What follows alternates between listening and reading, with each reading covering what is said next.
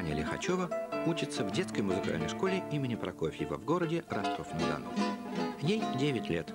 Она лауреат нескольких международных конкурсов, в частности, второго европейского конкурса молодых гитаристов имени Сеговии.